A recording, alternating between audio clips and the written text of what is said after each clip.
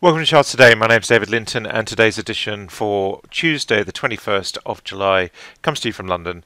And uh, the dollar is still sinking lower, so we're taking out the June low, so that's quite significant. And we're now looking to this March low. So dollar weakness is still a theme. Uh, on that short-term chart, we're definitely um, bearish. And on the euro, we're seeing that long-term transition looking uh, quite good, and we are quite close to taking out the March high. So that is also very significant. We see here on the chart. Uh, remembering this is my long term, my medium term, and my short term view, weekly, daily, 60 minute. If we take a look at sterling, we're sitting at 126.80, so that's quite a rise against that weaker dollar. Uh, and again, we're we're not quite making past the June high, but we are seeing uh, sterling uh, turning around there. And against the euro, we've seen a bit of recovery this week as well. Uh, we were below 110, we're back above. So um, but overall, sterling is still drifting lower generally against the euro. Uh, taking a look at Bitcoin, slightly up, uh, sitting at $9,300, so a bit of a jump today, but still very much stuck in those low low 9000s area. Uh, the S&P 500 index had a quite a strong showing yesterday, taking that June high now, so we're looking stronger again in the market. And the Nasdaq an all-time closing high um, as well, not passing last week's high as we see here on the chart. but closing at a new all-time high, all-time closing high.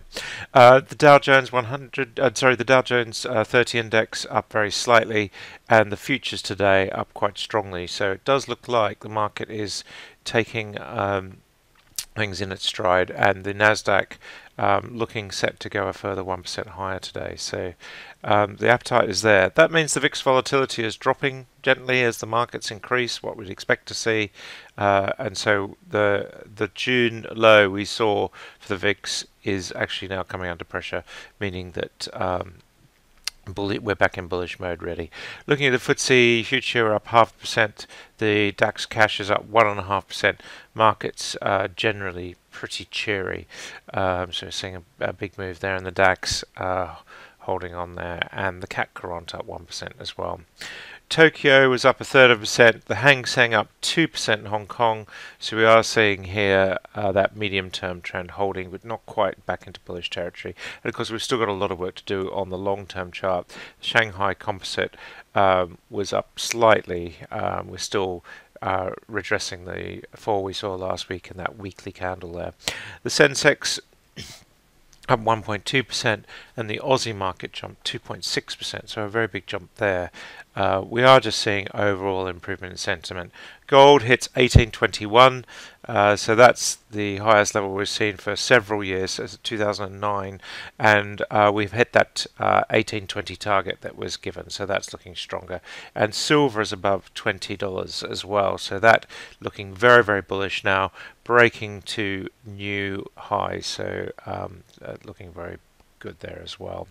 Taking a quick look at uh, the energy mix, uh, we've got Brent crude up 0.4% this morning, uh, so we're back towards the top of the range at the moment, and uh, WTI also up half percent, so we're looking stronger there as well.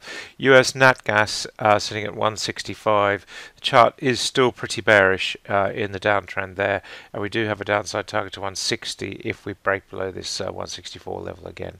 Coal is up one and a half percent, and emissions have uh, have um, turned around this morning and we've got a new upside target to 29.15 not yet activated. We do have these downside targets but for the moment um, we're seeing uh, a rise off the lows that we saw yesterday potential new target here on this chart on emissions to uh, 2837 so uh, quite significant there. NBP is up 5% this morning uh, so we're seeing um, a move there and TTF is up 2% so seeing a little bit of a recovery in gas prices but the fact that we have fell below that 5 euro level on TTF front month is a worry. Winter gas up 1.5% and German power holding on to the 40 euro mark, having fallen back quite significantly yesterday. Um, that's quite key now that we're there, and we've got an upside target to 42.10. That's it for today. Until tomorrow, happy charting. See you then.